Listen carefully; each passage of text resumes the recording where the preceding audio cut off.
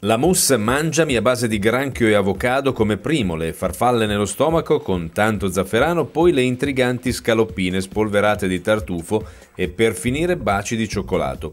Queste le ricette della cenetta ideale proposta dalla Società Italiana di Ginecologia e Ostetricia per stimolare il desiderio con un occhio alla salvaguardia della fertilità.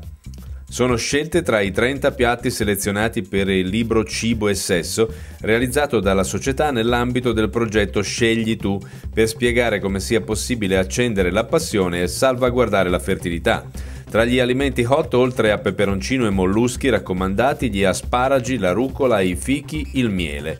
Da bocciare invece i troppi conservanti, gli zuccheri raffinati e i grassi saturi ma occhio anche ad alcol e caffè, soprattutto alle dosi. L'eccessiva quantità stronca l'eros, così come il fast food.